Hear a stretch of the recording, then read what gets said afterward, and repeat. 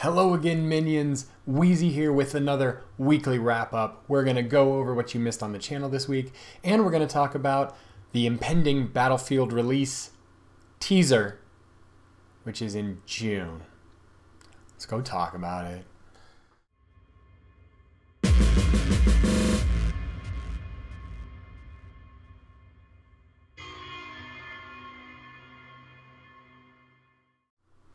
Okay, minions, let's get right into it. The first video posted to the channel this week was kind of a spur of the moment thing and ended up being kind of hilariously awesome um, on I think it was oh it was on the PlayStation I think so like the PlayStation Plus free game for this month or something like that was Wreckfest which is like just a modern destruction derby uh, game and some of the game modes were like destruction derby with like rideable lawnmowers and like sofa racing in addition to just racing and crashing cars. So it was a lot of fun. I had a little too much fun playing it, and here's a clip from that video. Wait for it. Ah! Yeah. You ain't got nothing on me, Gary. Take your shitty Firebird home, Gary. Come back, Gary. I'm gonna fuck your sister. Yeah, you heard me. She's gonna like it. She's gonna be all about it! There you are. Gary, you motherfucker! Ah, shit. That's not good. Gary fucked me. Oh, God. Oh, that's not good. That's not good at all. This is not gonna... Oh. We're... Oh, God, Gary. Gary, please, I'm sorry. Gary, I'm sorry for all the awful things I said. Please. Not like this, Gary. Oh god, get out of my way, Miss Lady. Fuck me. Oh, I'm boned. I'm so boned. Oh, I've been hoisted on my own petard. Gary won the race, that son of a bitch. I'm still gonna fuck his sister. Uh. So go and check that video out for just a ridiculously silly good time and fucking Gary. Um, after that, I posted a video on the fastest way to unlock the CARV.2 tactical rifle in Cold War, the mid-season weapon released in Call of Duty Cold War, and surprisingly, once again, the fastest way legitimately to unlock this is in Zombies. So I broke down the fastest way to do it, fun way to do it without doing the multiplayer grind. So here's a clip from that video. But a more efficient and faster way to do this is going to be to activate your objective, and that will cause waves of zombies to spawn in during the objective. This is a defend, so it's like three minutes of zombies just rushing the defend station. Um, I have I tried not to shoot the HVT, and I figured, hey, maybe I can just slowly kite him around the map as the zombies spawn infinitely. But what I did learn is that unfortunately, after a little while, the HVT will just start sprinting at you. He will aggro to you uh, and not let you just kite zombies around endlessly. Um, and you'll actually have to to move him through his stages to defeat him. But uh, yeah, I think it's these last two. And then while it's processing that slaughter metal, it's like, oh, uh, oh, by the way, you've unlocked the CARV.2. So I think at that point, you know, infill to that moment was about 43 minutes of total gameplay and not doing it the absolute most efficient way possible. Okay, so go check that out to unlock the CARV.2. After that, I started the series that I talked about a, a week ago. Um, I am playing Returnal, the PlayStation 5 exclusive. What is it called? Rogue-like, rogue-lite game. Shoot, you shoot stuff and you die, and it's the game. So I started a story time on that on my story time channel. Um, I've got the first episode of that already posted. I'm I've got the second episode uploaded. I need to just create a thumbnail and make it live, so I'll probably do that uh, very soon, probably before I'm done uploading this video.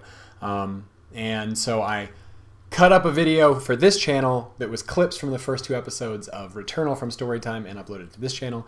So here is, much like last week, here's a clip of a video that's clips of a video on Storytime. Returnal. I'm gonna try not to die. Oh, shiznit! That hurt. Oh, God. I am in trouble. Oh god. That... That happened fast. Xenotech device for recycling materials. I mean, might as well. What are they gonna do? Kill me? Discovered a broken automaton. Oh, it's a robot. Clutching. Okay. A dildo. It's a robot. It's a robot dildo. It's a lightsaber. It's a robot lightsaber dildo. Appears safe to repurpose. Shit! I mean, oh, wow. Xenotype blade weapon. Oh, man. That is just a gorgeous game, and it has been surprisingly fun to play. So, uh, expect to see more of that over on Storytime. Um, not necessarily get much of a reaction for my Storytime videos here on this channel, so you can expect limited coverage of that stuff here. So, keep an eye on my weekly wrap ups for more information about Storytime. Go sub to that channel if that's something you're interested in. Um, but it's kind of got a life of its own. I'm not gonna like let it infiltrate or take over. Wheezy's Gaming. In that same vein, a new episode of Wheezy's FPS War College just went live as I'm recording it this morning on Friday. So, Situational Awareness 101, the second major module in my uh, reboot, reimagining of Wheezy's Wheezy's FPS War College, is now live. So, here is a clip from that. So we're going to go through and give some examples of the awareness cycle. First, we will give a general gameplay example of the awareness cycle, and then we will break it down into what I call macro and micro examples of situational awareness. What do we want to do in order to increase our chances of winning the game? We want to make sure that we hold these points because that will create a line like this that we control our four points to their three, and these three points are actually very close together. As I come around this van here, I can look and see if they're coming up the street. If that's clear, I'm going to move across towards this building uh, and start moving up the edge of the map.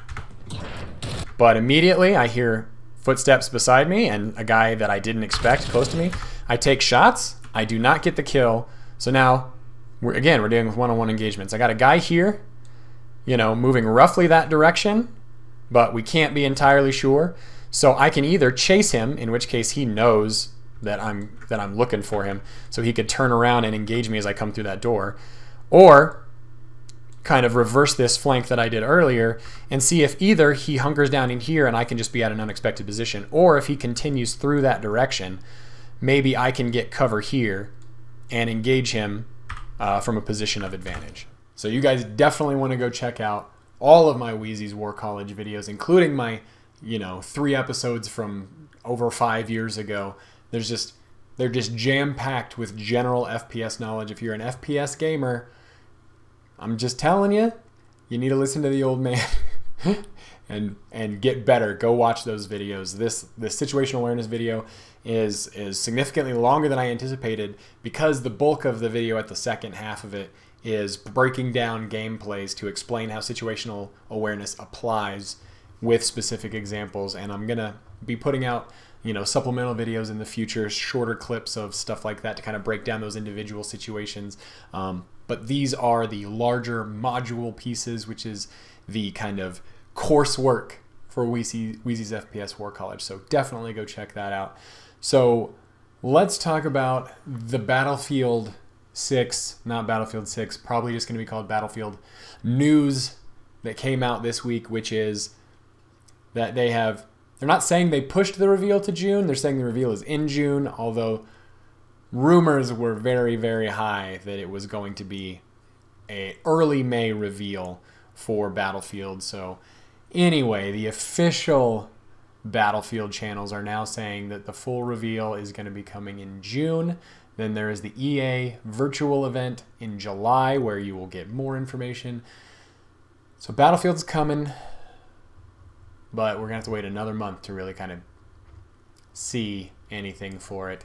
Although, I mean, these are the corporate guys, right? The ones talking to the people who are invested in the company, but they're saying it's amazing. It'll kind of blow us away. The devs have said that the new Battlefield game is kind of a love letter to fans, so I have really high hopes with the essentially impending Call of Duty World War II game this year. I really need a new modern shooter to grasp onto. Um, Cold War is just kind of trash. Modern Warfare 2019 still holds up. I'm still in loving that game. I'm still excited for hopefully an Infinity Ward sequel to that next year. But this year, all of my hopes are hanging on the new Battlefield game, unless some other modern FPS game comes out of nowhere to kind of grab my attention. Not necessarily holding my breath for that one, but what do you guys think? Are you like so hyped for Battlefield? Are you disappointed that we're not going to hear about it for yet another month and it's going to be a really kind of short marketing timeline for them from June to presumably October, November for release. So we're going to have a whole lot of nothing for Battlefield and then hopefully we're going to just start seeing lots and lots of stuff. So expect more Battlefield coverage from me unless they decide to just crush my dreams and break my hopes. But yeah, let me know. Give me feedback on what's been posted to the channel this week. Uh, what you think about the new Battlefield game potentially getting announced, what you're looking forward to, what you're hanging your hopes on. And I'm going to keep this one short this week.